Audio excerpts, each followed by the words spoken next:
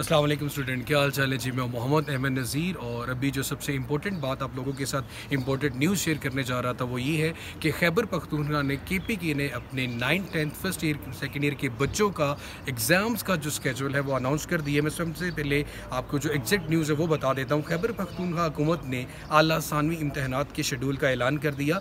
खैबर पख्तून वज़ी तलीम शहराम तरक्की ने ट्वीट में बताया कि मेट्रिक के इम्तहान 24 मई से शुरू होंगे, जबकि इंटरमीडिएट के इम्तहान 17 जून से इम्तहान या मेट्रिक के जो सॉरी इंटरमीडिएट के जो तलबा तलबा, तलबात हैं, वो 17 जून से इम्तहान के लिए बैठेंगे। उन्होंने मज़ीद कहा कि ओ और ए लेवल के तलबा के इम्तहान 10 मई से शेड्यूल के मुताबिक लिए जाएँगे।